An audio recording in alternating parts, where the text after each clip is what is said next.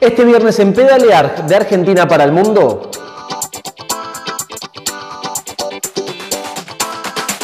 Test Bike. Probamos la nueva Pro Lion King Rodeo 29, una mountain bike todoterreno.